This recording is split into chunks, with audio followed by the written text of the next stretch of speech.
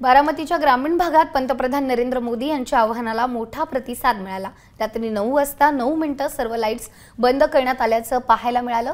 नागरिकांनी आपल्या दारात घरासमोर मेणबत्तीसह दीप प्रज्वलित केलं.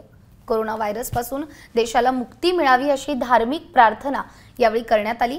अष्टविनायक प्रथम स्थान असलेल्या मोरगाव परिसरात नऊ मिनिटं संपूर्ण शांतता बसरली होती. या दरम्यान अत्यावश्यक सेवेत कार्यरत असलेल्यांप्रती कृतज्ञता व्यक्त करणारी प्रार्थना अनेकांनी केली.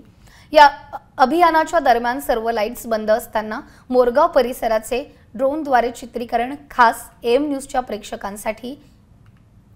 तर मोरगावमधील फोटोग्राफर अविनाश गुरव यांनी ड्रोनद्वारे नयनरम्य अशी ही दृश्य टिपलेली आहेत.